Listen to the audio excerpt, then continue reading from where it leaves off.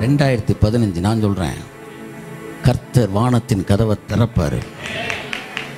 நம்புறவன் பார்ப்பான் நம்புறவன் சாப்பிடுவான்.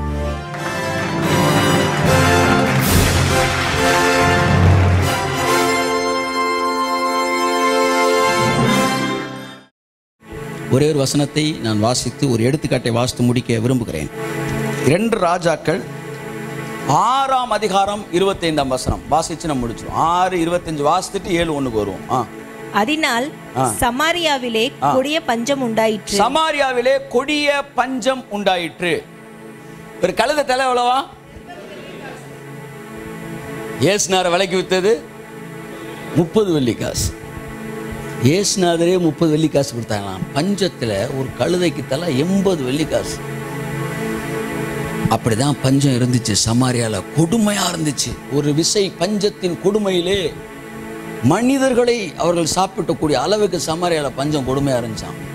கர்த்தர் நல்லவர். ஆமேன்னு சொல்லுங்க. ஒரு நாள் தீர்க்கதரிசி வந்து சொல்றான். லெட் மீ finish இட் வாசிப்போம். ரெண்டு ராஜாக்கள் ஏழு ஒன்று அப்பொழுது எலிசா கர்த்தருடைய வார்த்தையை கேளுங்கள். எல்லாம் சொல்லுங்க. பயங்கரமான பஞ்சம். அப்போ வந்து எலிசா சொல்றான். எல்லாரும் கவனிங்க. இல்லையா இப்போ நான் என்ன எலிசாவா பார்க்குறேன். ஹalleluya கழுதத்தலை எண்பது வெள்ளி காசு இருக்கும்போது எலிசாவன் சொல்றான். எல்லாரும் கர்த்தருடைய வார்த்தையை கேளுங்க. வாசிப்போம். நாளை இந்நேரத்தில் நாளைக்கு இந்நேரத்துக்குள்ள. சமாரியாவின் வாசலிலே பஞ்சிங்க அங்கே என்ன தெரியுமா? ஃபோக்கஸிங்க within tomorrow by this time எப்படி பேசியிருக்காங்க பாருங்க. Tomorrow by this time that is what prophet of God தேவனுடைய தீர்க்கதரிசிகள் அவ்வளவு தெளிவாய் பேசினார்கள். நாளை இந்நேரத்தில் within twenty four hours within twenty four hours நாளைக்கு நேரத்தில் சமாரியாவின் வாசலிலே சமாரியாவின் வாசலிலே ஒரு மரக்கால் கோதுமை மா ஒரு மரக்கால் கோதுமை மாவு ஒரு சேக்களுக்கும் ஒரு சேக்கல்னா ஒரு வெள்ளி காசுல பத்துல ஒன்று நூறுல ஒன்று எனக்கு தெரில ஒரு சேக்கல் ஆ. இரண்டு மரக்கால் வார்கோதுமை ஆ. ஒரு சேக்களுக்கும் விற்கப்படும் என்று. கர்த்தர் சொல்லுகிறார் திடீர்னு வந்து நாளைக்கு நேரம் ஒரு ரூபாய்க்கு ஏழு படி அரிசி கொடுக்க போகிறாங்க அப்படின்னு நான் சொன்னேன்னா நீ என்ன சொல்லுவீங்க? ஆமேன்னு சொல்லுவீங்க? சொல்லுவீங்களா? அதுக்கு கூட ஆமேன்னு சொல்ல மாட்டேன்றீங்க நீங்கள் ஒருவேளை ஆமேன்னு சொன்னால் வெளியில் போய் சொல்லி வைப்போம்.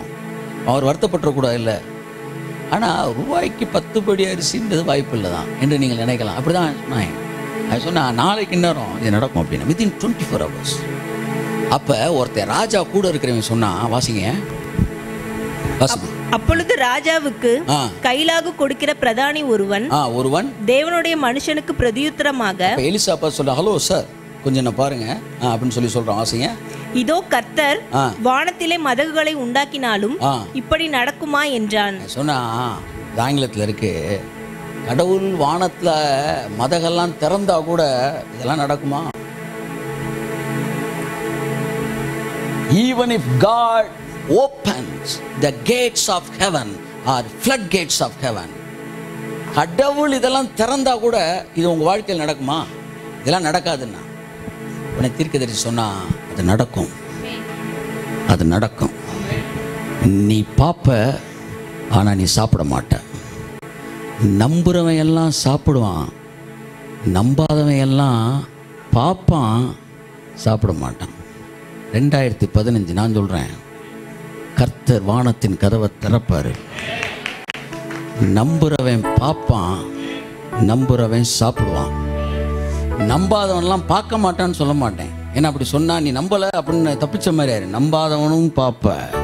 எல்லாம் சொல்லுங்க நம்பாதவனும் பார்ப்பீங்க ஆனால் சாப்பிட மாட்டேன் you will not enjoy you will not experience it ஆண்டவரே நான் நம்புகிறேன் கதவை திறப்பீங்க.